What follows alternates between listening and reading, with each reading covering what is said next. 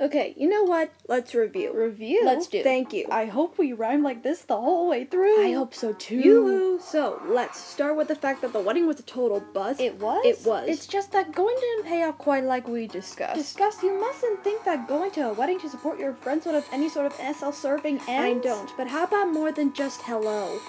Yeah, something's iffy. Glad you're with me. That the state of things is icky. Is there something here we're missing? Maybe. No, I mean, you know that we've gone through all of this before. Before? Before we helped you make the proper choice of a wedding over your. Spare me the rest. Yes, the callback for a film that could have been my break. Yeah, you could say. And no one wanted you to go more than that slimy They snake. pushed to do the egocentric audition. Yeah, that's deceit. a part of you so hard to have left me lost goals at align with his. What would that say?